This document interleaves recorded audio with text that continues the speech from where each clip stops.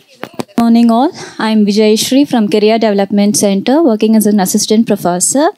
And uh, to start with the realization, submergence, I think I don't want to uh, go with this. I'll just explain what UHV has. I have learned from UHV. Actually, earlier I was uh, not like this. Because i'm very egoistic person i never mingle with person. If i like i will communicate with them. If i don't like i will never even turn. So that is me. If i don't like a person i never turn to them. I never talk to them. I never uh, look at them itself. And um, what uhv 1 2 and all has taught me is uh, human relationship. So i just wanted to share one incident which happened recently I was going in a two wheeler, and uh, usually I take one way, and on that particular day I take another route. I was uh, something was feeling in me uh, something bad is going to happen in front of my person who is uh, riding the two wheeler.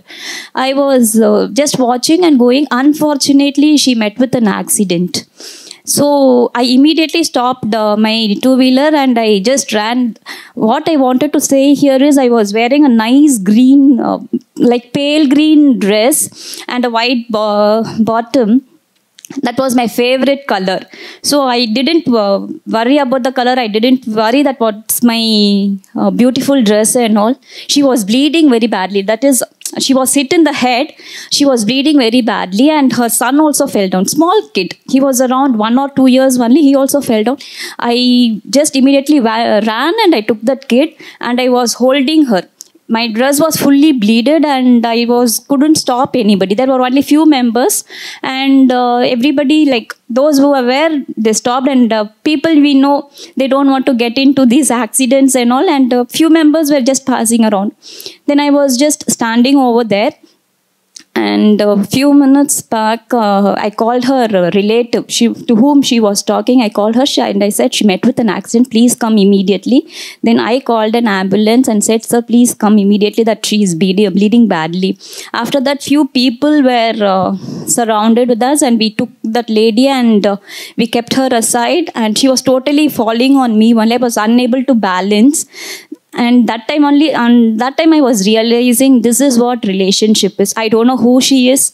I don't know who that kid is. And um, literally i didn't worry about the dress. And this is what uhv has taught me. This is what i have learned from uhv because bonding with the relationship and i think everything comes under that isn't it everything comes under that? And uh, i i went home after the ambulance came and all. I have settled everything. I went home. I was washing the dress it, that blood stains didn't leave. So i called my husband and said this happened and uh, i feel very bad. The dress is lost. And my husband said are you feeling for the dress? Are you or are you feeling for that lady? I said i don't know what happened to that lady because she's having a one year or two years baby. I don't know what happened. I pray god that she has to uh, live long. It is in the head right? So we obviously have some sort of feelings. So i was like um, then my husband started if what I do this. Initially, I used to scold him. What is there when it is in the public? Please leave. You just come. You don't bother about that. I was a person like that. Why do you want to get into problems like this? I used to say him, don't involve yourself in this. My husband, literally, whenever anybody is there in any, any problem, whether it is known for him or unknown for him, he will immediately go.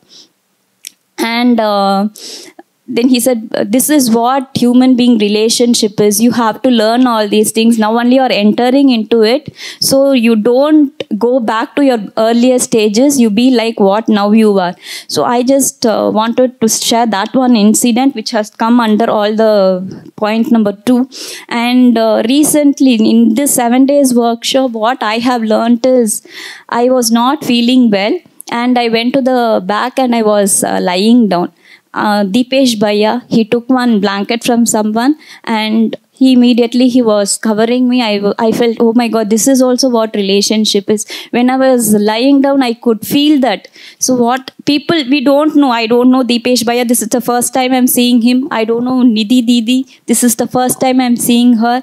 I don't know Geeta Didi. this is the first time we are seeing. Everybody here almost, this is the first time I'm seeing.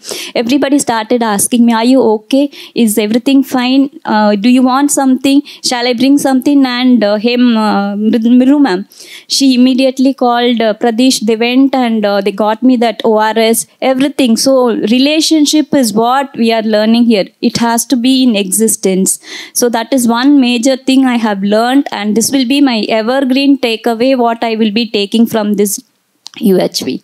So coming to the future plans and commitment specific plan plan for the uh, self development is i wanted to explore more so i wanted to learn more from UHV i will not stop with this. I wanted to explore more. And um, role in human education to come with the uh, human education uh, first thing i whenever that UHV workshop I have attended here, immediately at home I went and I shared with my brother, with my son. My son was like, first day he was little bit irritated. He was like, what Amma, this is what you're sharing me. I'm not interested. Second day he was feeling little comfortable. Third day when I entered home, you he stopped me and said, you just tell me what happened in your workshop. You, uh, you you tell what incident what people were sharing me and everything he started listening. So i thought uh, at that moment i thought i can bring education through him. And fourth and fifth day he was like amma you please come to my school one day and you share this all all these things with my students with my friends and all you share no? Hey, they will also feel comfortable because nowadays people are thinking that physical facility is uh, what very important is. You come and share you know this is a nice learning experience what i have learned from you. Because first day it was very boring and second day third day i myself involved in this. Normal like that students also will be involved. So you come to my school he was continuously calling and every time he used he was like amma please chair, please chair." and uh, now he's not uh, here he's in my native and he started asking me over phone. For, for past two days he was asking me what happened in your uh, uhv FDP what did they share? What happened? You tell me. Okay you please uh, make a note of everything. Whenever i come you have to share all the points to me. Because i want to learn.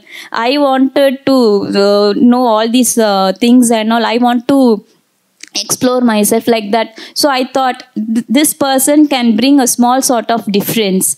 And um, again what i have le- what i have learned is coming to the physical monthly uh, at least 3000 to 4000 i'll spend for my dress every month I, ha- I was uh, having this as a habit and after UHV to face to face workshop it has been almost one month. For this one month I didn't buy any dress. So that is one change what I have uh, brought now and this will continue. So this i have taken an oath that i will continue with this and uh, with whatever i have i can live happily then uh, commitment for participation. Uh, recently i have joined in sr group and uh, sr region and i'm uh, in sort in sort of small small volunteering and all. And i think in future i will dedicate myself to UHV this is what my plan is. I will dedicate myself to UHV whatever wherever i can put my presence i will definitely do for that